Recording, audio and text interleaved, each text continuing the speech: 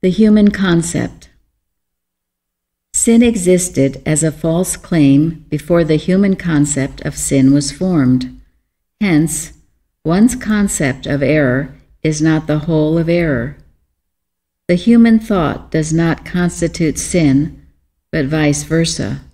Sin constitutes the human or physical concept. Sin is both concrete and abstract. Sin was and is the lying supposition that life, substance, and intelligence are both material and spiritual, and yet are separate from God. The first iniquitous manifestation of sin was affinity. The finite was self arrayed against the infinite, the mortal against immortality, and a sinner was the antipode of God. Silencing self, alias, rising above corporeal personality, is what reforms the sinner and destroys sin. In the ratio that the testimony of material personal sense ceases, sin diminishes until the false claim called sin is finally lost for lack of witness. The sinner created neither himself nor sin, but sin created the sinner. That is, error made its man mortal. And this mortal was the image and likeness of evil, not of good. Therefore, the lie was and is collective as well as individual. It was in no way contingent on Adam's thought but suppositiously self created. In the words of our Master, it, the devil, alias evil, was a liar and the father of it. This mortal, material concept was never a creator, although, as a serpent, it claimed to originate in the name of the Lord, or good, original evil. Second, in the name of human concept, it claimed to beget the offspring of evil, alias, an evil offspring. However, the human concept never was, neither indeed can be, the father of man. Even the spiritual idea or ideal man is not apparent, though he reflects the infinity of good.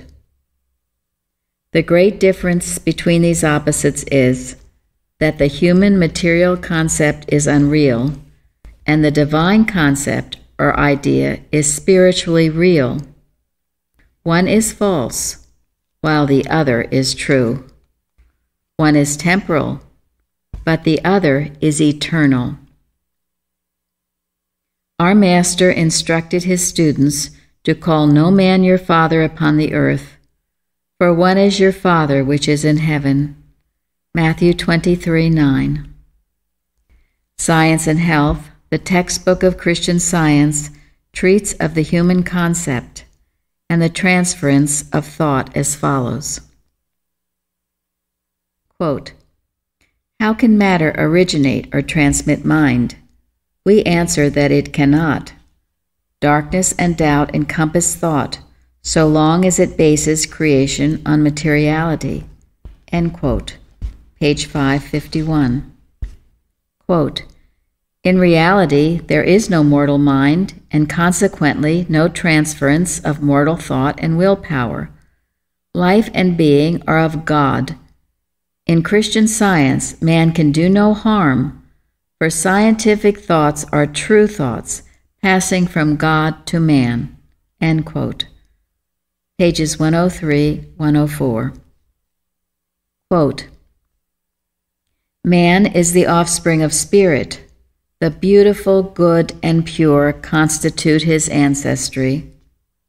His origin is not like that of mortals in brute instinct, nor does he pass through material conditions prior to reaching intelligence.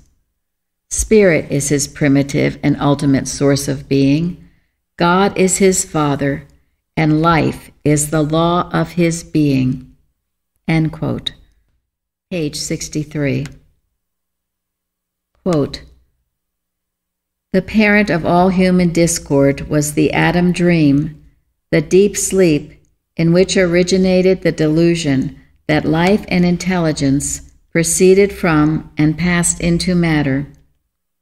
This pantheistic error, or so called serpent, insists still upon the opposite of truth, saying, Ye shall be as gods.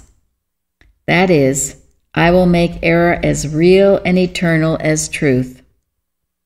I will put spirit into what I call matter, and matter shall seem to have life as much as God's spirit, who is the only life.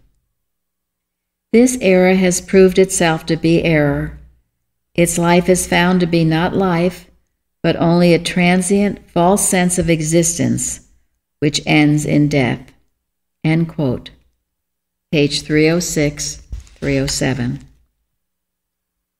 Quote, when will the era of believing that there is life in matter and that sin, sickness, and death are creations of God be unmasked? When will it be understood that matter has no intelligence, life, nor sensation, and that the opposite belief is the prolific source of all suffering? God created all through mind and made all perfect and eternal. Where then is the necessity for recreation or procreation? End quote. Page 205.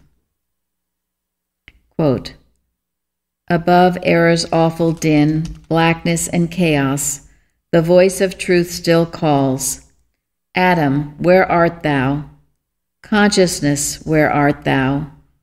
Art thou dwelling in the belief that mind is in matter and that evil is, is mind? Or art thou in the living faith that there is and can be but one God and keeping his commandment? End quote. Pages 307 and 308. Quote, Mortal mind inverts the true likeness and confers animal names and natures upon its own misconceptions. Ignorant of the origin and operations of mortal mind, that is, ignorant of itself, this so called mind puts forth its own qualities and claims God as their author, usurps the deific prerogatives, and is an attempted infringement on infinity. End quote. Pages 512 and 513.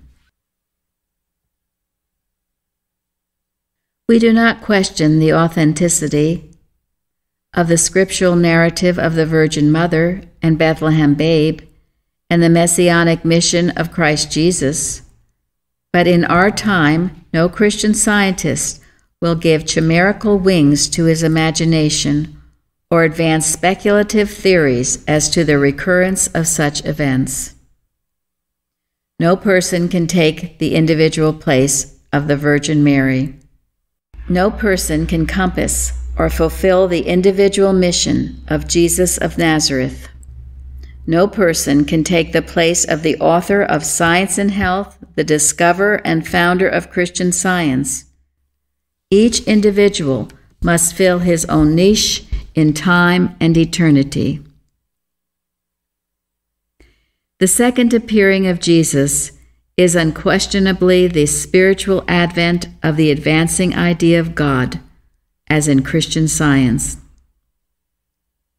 And the scientific ultimate of this God idea must be, will be, forever individual, incorporeal, and infinite, even the reflection, image, and likeness of the infinite God. The right teacher of Christian science lives the truth he teaches. Preeminent among men, he virtually stands at the head of all sanitary, civil, moral, and religious reform. Such a post of duty, unpierced by vanity, exalts a mortal beyond human praise, or monuments which weigh dust, and humbles him with the tax it raises on calamity to open the gates of heaven. It is not the forager on others' wisdom that God thus crowns, but he who is obedient to the divine command. Render to Caesar the things that are Caesar's, and to God the things that are God's. Great temptations beset an ignorant or unprincipled mind practice in opposition to the straight and narrow path of Christian science. Promiscuous mental treatment, without the consent or knowledge of the individual treated, is an error of much magnitude.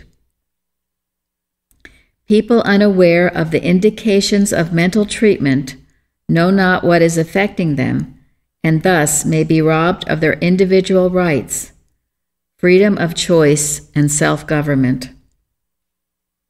Who is willing to be subjected to such an influence? Ask the unbridled mind manipulator if he would consent to this, and if not, then he is knowingly transgressing Christ's command. He who secretly manipulates mind without the permission of man or God is not dealing justly and loving mercy according to pure and undefiled religion. Sinister and selfish motives entering into mental practice are dangerous incentives. They proceed from false convictions and a fatal ignorance. These are the tares growing side by side with the wheat that must be recognized and uprooted before the wheat can be garnered and Christian science demonstrated. Secret mental efforts to obtain help from one who is unaware of this attempt demoralizes the person who does this, the same as other forms of stealing, and will end in destroying health and morals. In the practice of Christian science, one cannot impart a mental influence that hazards another's happiness, nor interfere with the rights of the individual. To disregard the welfare of others is contrary to the law of God. Therefore, it deteriorates one's ability to do good, to benefit himself and mankind. The psalmist vividly portrays the result of secret faults, presumptuous sins, and self deception in these words How are they brought into desolation? as in a moment, they are utterly consumed with terrors.